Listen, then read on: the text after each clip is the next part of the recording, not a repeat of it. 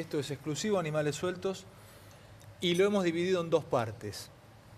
La primera parte va a ir levantando temperatura, igual es fuerte, van a ir viendo y vamos a ir este, encontrando un montón de situaciones o de, lugares en este, estas dos partes de tapes que vamos a ver que dan para pensar y dan para analizar. vamos a ver la segunda etapa del allanamiento al monasterio de planificación, como lo hemos llamado.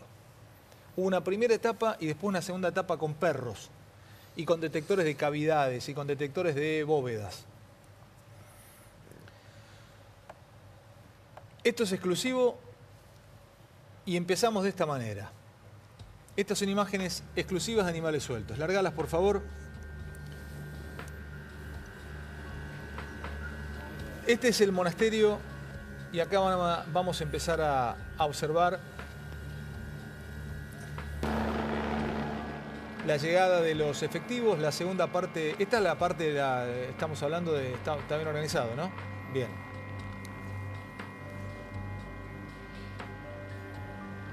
Hasta ahora ustedes observarán la parte vieja del monasterio. Después van a ver un montón de obras. ¿A qué empiezan a ver obras? Acá empiezan a ver obras. Esto está hecho a nuevo. Que sorprende también todo lo que se ha construido. Pero van a llegar, observen, esto también está hecho a nuevo. La construcción, esto también está hecho a nuevo. Observen ustedes bien. Alguien le calculó entre 300 y 400 mil dólares para hacer nuevo este monasterio. Ustedes podrán observarlo. 300 o 400 mil dólares a 14 o a 15, estamos hablando de 5 millones, 6 millones de pesos. A mí me dijeron que esa plata no la tiene ni este, el arzobispado de la provincia de Buenos Aires imposible que lo tuviera este monasterio. Y menos las tres monjitas del Y menos las tres monjitas. Aquí nos vamos metiendo y vamos tomando temperatura. Observen cómo se estaba haciendo a nuevo el monasterio. Hasta acá lo que les quiero mostrar es también para que vayan atando cabos. ¿Con qué plata hicieron esto? Plata de limosna, plata de aportes, y además de, fieles, es imposible. Alguien me dijo, es imposible, no se llega. Y además, ¿con qué fin, Alejandro? ¿Con qué fin? Si había solamente tres monjitas. Plata de aportes de fieles es imposible. Acá empezaron a olfatear, oler cosas raras, porque hay mucha plata puesta en este monasterio. Mucha plata. Un monasterio que oculta cosas para los investigadores. Ustedes van a ir viendo de a poco y prepárense de lo que falta. Observen esto, frena.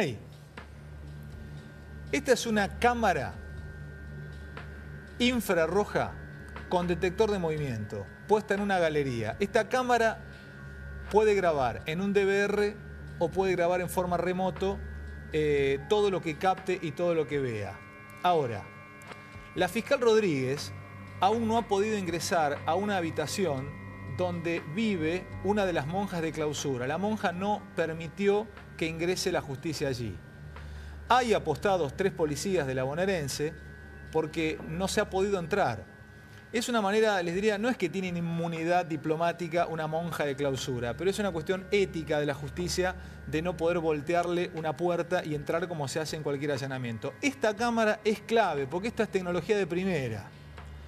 Y esta cámara domina toda la galería que lleva a la entrada de lo que ustedes en un minuto van a ver y que para mí es contundente. No se sabe quién guarda lo que esta cámara grabó. ¿Está grabado afuera? ¿La tiene grabado alguien en un, en un celular?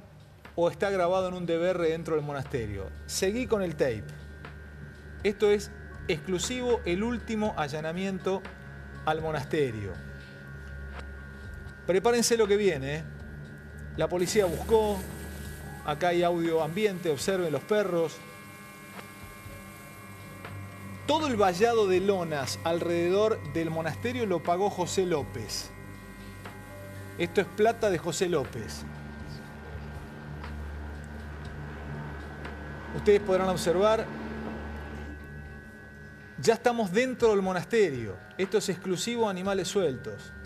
Hasta aquí sí se pudo entrar con perros a ponerlos a olfatear, a ver si había algo raro, si había alguna cavidad, si había alguna bóveda. En minutos seguramente será trending topic lo que van a ver. Revisaron bibliotecas. Ahí vivió Monseñor Dimonte hasta que murió. No es un dato menor. Monseñor Dimonte, que hay algunas versiones que indican una situación muy complicada de él dentro de la iglesia en los últimos años. Pero aquí vivía Monseñor Dimonte, exactamente, quien falleció en abril. Esta es la habitación de Monseñor Dimonte. Muy amigo de, de Néstor y Cristina, muy amigo de, de, de Devido, muy amigo de López. Recordemos que aquí venía seguido Julio Devido, aquí venía muy seguido López. Los relicarios donde se guardaban, se investigó, se trabajó con los perros en todos estos lugares. Ahí van a observar un monitor que toma una de las cámaras, pero no justamente la cámara que nosotros mostramos en la galería. Fíjense, ahí hay imágenes de vírgenes y de santos como cuidando el propio monitor. Un monitor en un costadito extraño porque vivían tres monjas y nadie más. Los perros trabajando, las paredes. Ya estamos en la cocina. Señores, prepárense para el impacto que en minutos llega. ¿eh? Prepárense para el impacto que en minutos llega en exclusiva en Animales Sueltos. Este es el último allanamiento del monasterio. Nadie les mostró esto. Ahí les enseña al perro para que olfatee, no encuentra nada. Me contaba una fuente que es por momentos también un choque ético para la policía tener que entrar en un lugar así, romper una puerta, romper un piso. Y un lugar tan religioso. Pero, pero y, eh, quiero aclarar algo, porque también una alta fuente de la iglesia me cuenta que las monjas no son de clausura. No son monjas de clausura. Hay un tema con este, todo esto, después les vamos a mostrar fotos también de los celulares de José López. Según cuentan algunas fuentes, Rafecas aún no comenzó con la auditoría de esos celulares. Y también hay una monja que no deja entrar, como les decía, hasta hace unas horas no habían podido entrar a una habitación, no se sabe qué hay dentro de esa habitación, seguramente no habrá nada, o sí, a mí me cuentan y me dicen que este monasterio no para de dar sorpresas y lo que van a ver en minutos, para mí cambia el trayecto de la información. Todavía estamos dentro de la zona donde vivía el, este, el monseñor. También les cuento que esto lo mantenía un grupo de fieles, un grupo privado de fieles, y me dicen fuentes de la iglesia que es imposible juntar esa cantidad de dinero para remodelar este monasterio. Y me cuentan que el Monseñor Dimonte tenía pensado hacer una eh, congregación o una orden de estas monjas y el Vaticano se lo había rebotado. Los perros buscando, pero todavía no habían llegado al momento culmine que en dos minutos ustedes van a ver.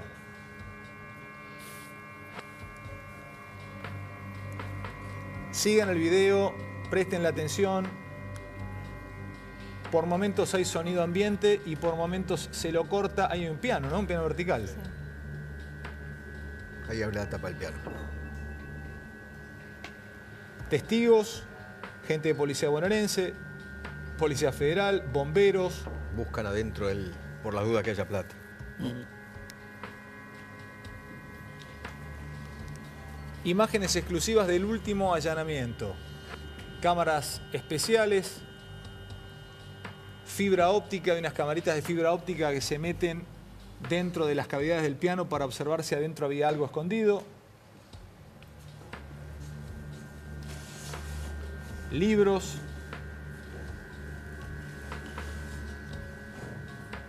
la atenta mirada de nuestros compañeros. Quiero remarcar, eh, Ale, si me permitís, porque esto es importante para, para definir qué es una cosa y qué es otra. En un monasterio donde las monjas son de clausura, ellas viven encerradas y solamente se puede entrar en ese convento con un permiso pontificio. No es este el caso, no es este el caso. Este caso de este monasterio, este monasterio es una asociación privada de fieles, asociación privada de fieles. Es una instancia previa a ser una congregación religiosa, que es lo que vos decías. En el Vaticano no se lo permitieron. Postulaban para eso. Exactamente, se postulaban, pero no lograron ese permiso. Un permiso especial del Papa. Bueno, vamos a volver a la mesa y ahora prepárense lo que van a ver. Eh, hasta acá, un allanamiento. Hemos visto miles. ¿Qué permite alguna interpretación? A ver. Y que en realidad eh, preparaban este monasterio para otro destino. Sí, señor. Me parece, ¿no? Porque no, no, tiene ningún sentido si no este, Alguien me dijo... tanto preparativo y me parece que tal vez este, se anticipó demasiado. Lópezito. Eh, Leo Lópezito. A llevar la plata. La, la ansiedad lo ¿Puedes decir traicionó. que todas esas habitaciones eran para guardar plata? No, lo que vas a ver ahora, sé. lo que vas estoy a viendo ver el ahora, documento, por lo que veo del que vas a ver ahora, si las otras habitaciones eran para guardar plata, lo que vas a ver ahora, este, Eddie, te va a cerrar un montón de cosas. Ahora en un minuto yo te voy a mostrar qué me dicen a mí.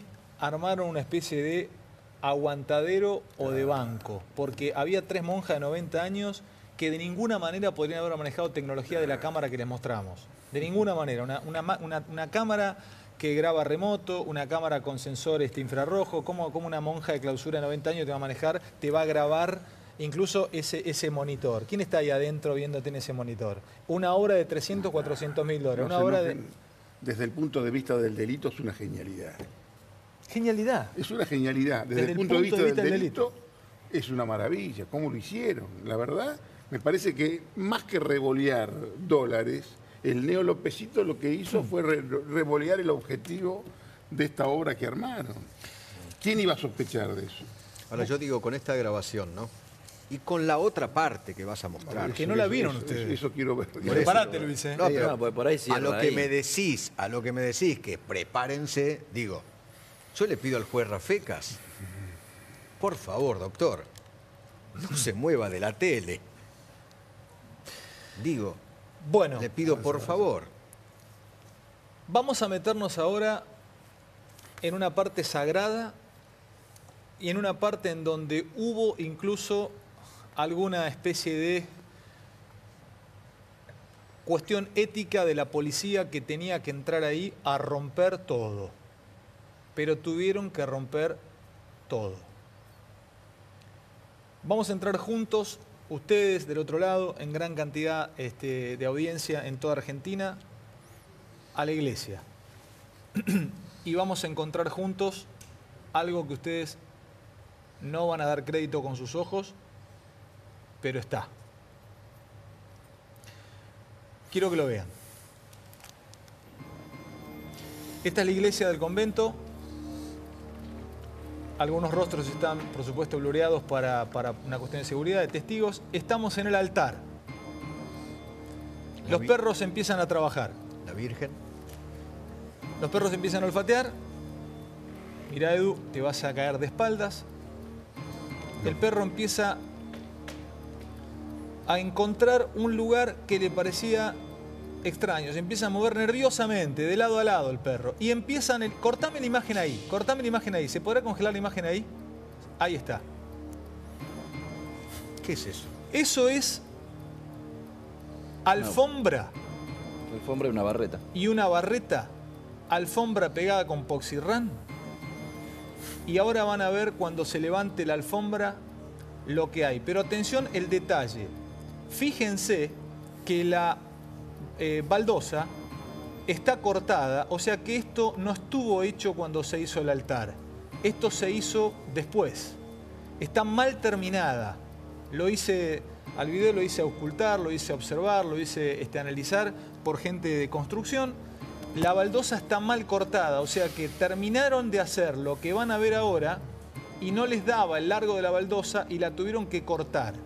Y además van a ver cuando levanten la alfombra, que la alfombra está pegada, como decía Eddie con una especie de barreta y solamente tiene poxy run en los, este, los costados, en los extremos, para hacer más fácil el levantado y el cerrado de lo que esconde esta alfombra en el altar del monasterio de planificación debajo de la Virgen María. Digamos que todo eso, eh, todo ese lugar donde estamos viendo ahora se llama Sagrario y en todo ese, ese, lugar, allí se, guarda la, Eucaristía.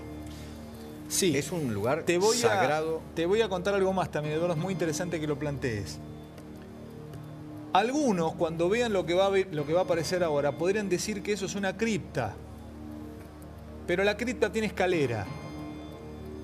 Y esto no tiene escalera. Así que cripta no es. Técnicamente cripta no es. Señores, saquen sus conclusiones con ustedes. La sorpresa del monasterio de planificación. Los dejo con, el sonido ambiente. Hijo.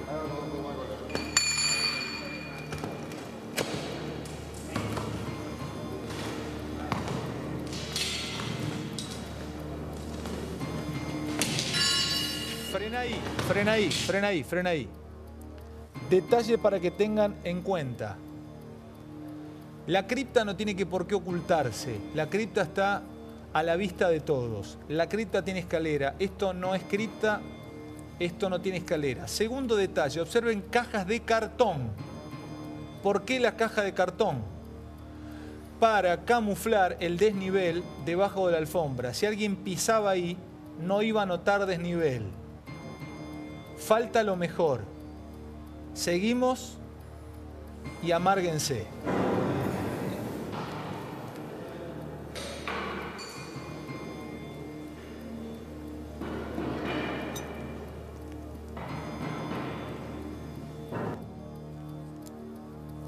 cortan el ambiente por una cuestión de seguridad, hacen fuerza con una barreta, debajo de la Virgen, no pueden creer lo que ven.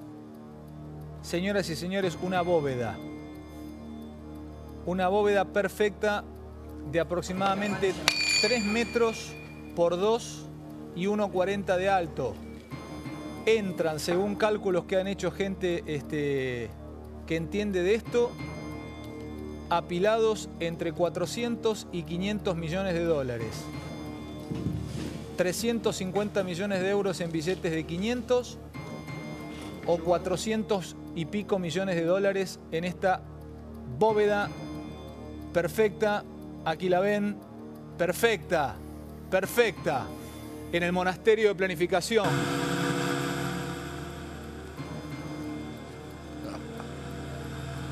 Siguieron buscando, encontraron dos cavidades más a los costados sin terminar.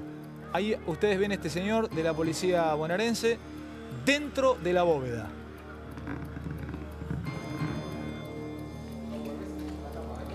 Metieron cámaras,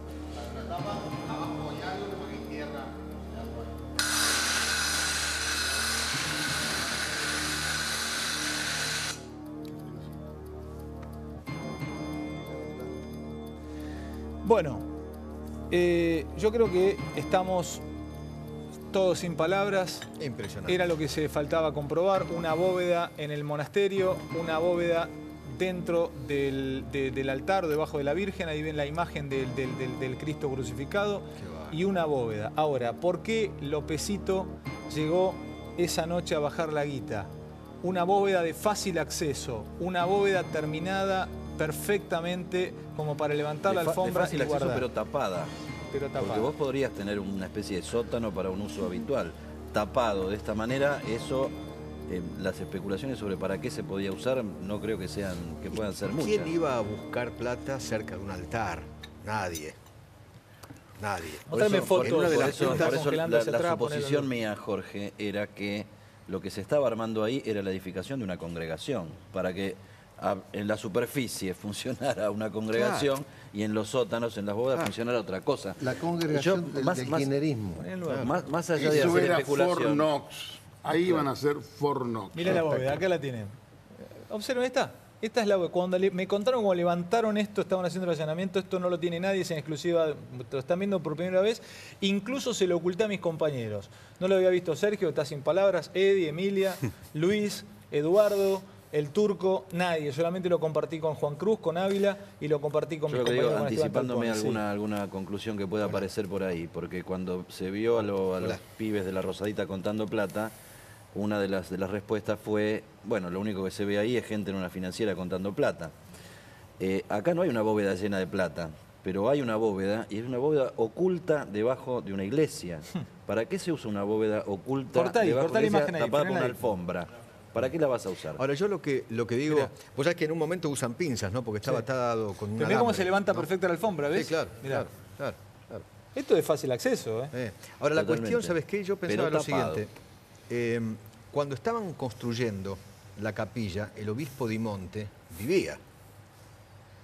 Y las monjas tendrían que haber preguntado para qué era esa bóveda, ¿o no? Perdóname, Lo que están pensando dónde tapa está, a dónde está el resto, lo que iban a colocar ahí. No, pero lo que dijo es Muchacho. clave. ¿eh? No, bueno, porque sin a la ver, complicidad. no son más no. gobierno, en algún lado está la bien, plata para sin la complicidad de quienes manejan ese O sea que la- monasterio. pero está el efectivo por ahí, no Pero, tengo duda. escúchame, Luis, Hay que buscarlo. ¿entendiste lo que te dije? Sí, sí. Dimonte estaba vivo cuando se construyó esto. Esto no se construyó ahora.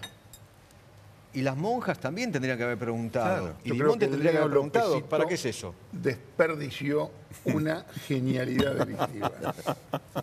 Se ¿eh? apresuró. O sea, hay muchos ¿Por qué no, cómplices pero en eso. ¿por qué no habrá entrado con el auto? para muchachos, yo- yo le- les voy a agregar más cosas que me contaron a mí.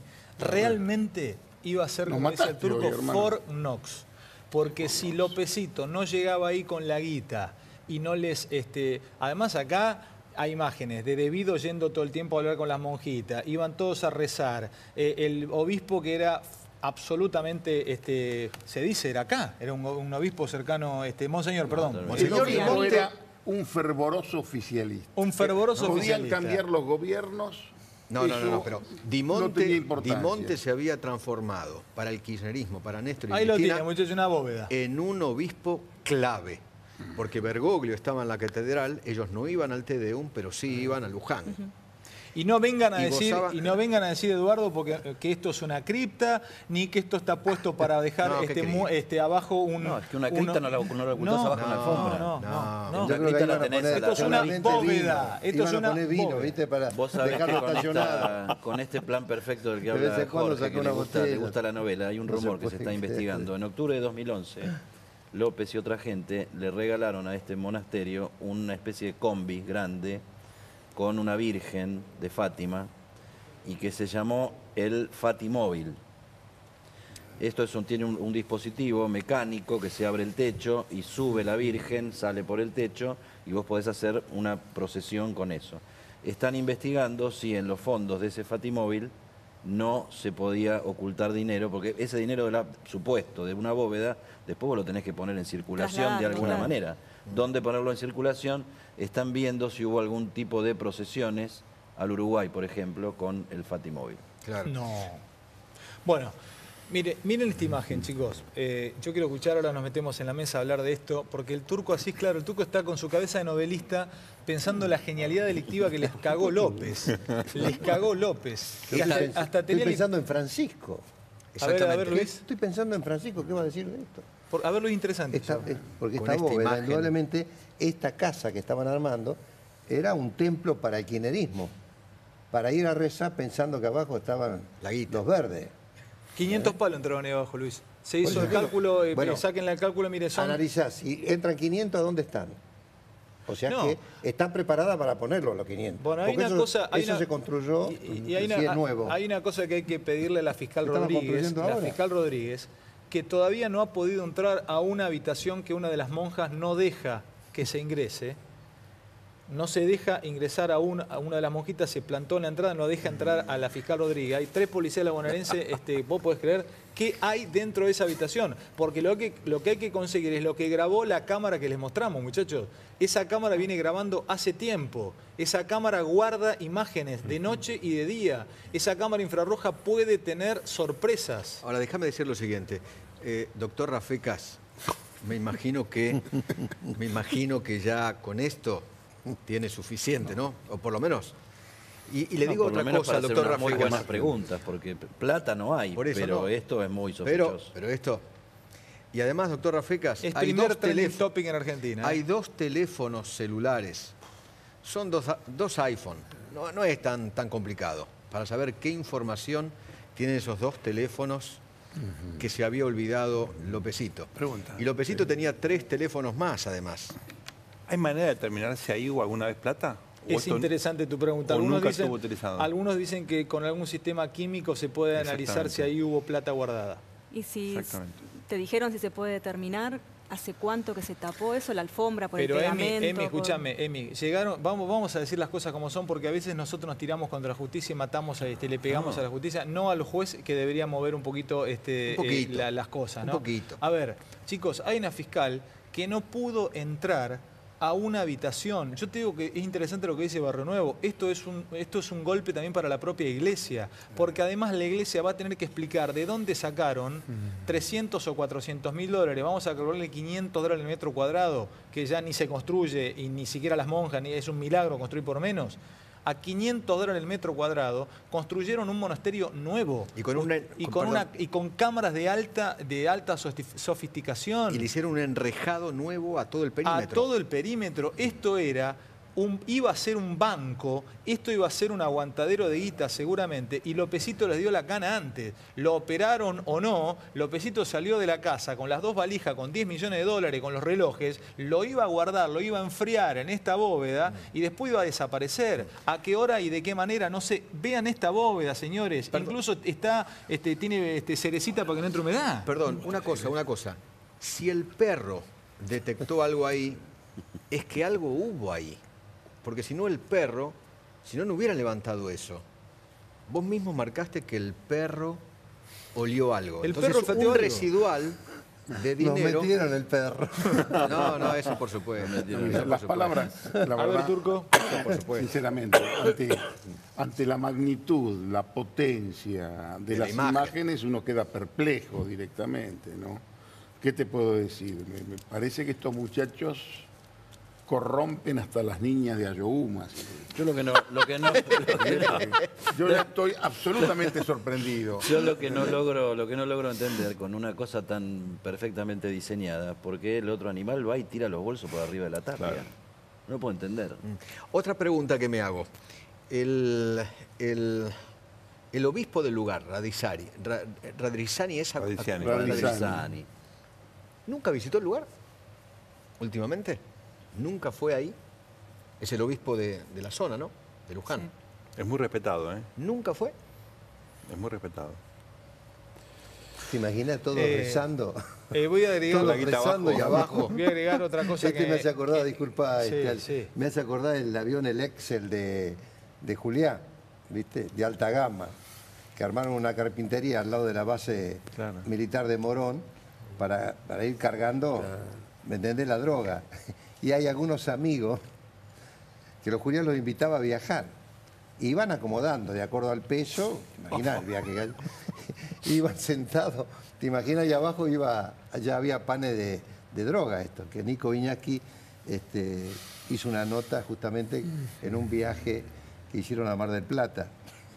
Y yo digo a los amigos, ¿te imaginas los perros si tolían la cola donde vos estabas sentado? Chao, estabas Porque estaba la merca abajo. Claro, claro. Iban colocando la merca y el peso hasta, hasta hacer el viaje que hicieron. Y esto es lo mismo. Estás ahí en la misa y abajo tenés 400, 500 millones Te voy a contar una cosa más, Luis, que me interesantemente una persona que está en este programa que le agradezco mucho me, hace notar este, desde Chaco. Eh, me dice, si esto fuese un fin santo, la bóveda, ponele que lo tenés como relicario, porque este monasterio es viejísimo, lo tenés para guardar cosas, lo tenés para guardar imágenes de santos. tiene una manija tiene una, argolla para levantar. está tapado, está camuflado. Eh, el momento que. Es secreto. Es secreto. fíjense cómo levantan la alfombra. Yo les puedo, les puedo pedir, por favor, desde el momento en que clavan mm. eh, el cortahierros y van levantando la alfombra, eh, se levanta como una, tapa. Y en una bóveda no se puede guardar solamente plata, se pueden guardar algunas otras cosas que después se traduzcan en plata también. ¿no? Joyas, relojes, ya que estamos, armas, ya que estamos, drogas.